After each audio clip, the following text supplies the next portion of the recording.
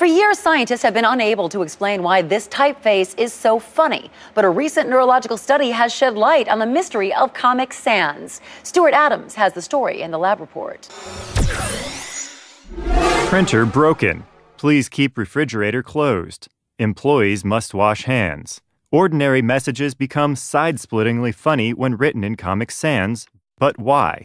At Princeton University, psychologists have been trying to answer that question for years we showed volunteers sentences in Comic Sans and had separate control groups who read the same passages written in fonts like Times New Roman or Palatino.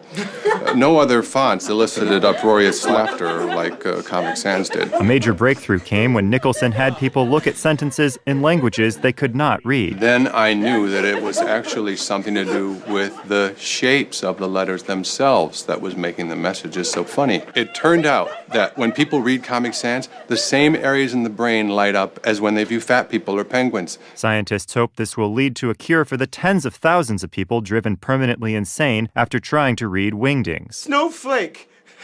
The mailbox again! Crosses! Crosses! What does it mean? Stop! What does it mean? Does for the Lab mean? Report, I'm Stuart Adams. Comic Sans always tickles my funny bone. Of course, my favorite font is Papyrus because it makes me feel like an avatar of Amun Ra.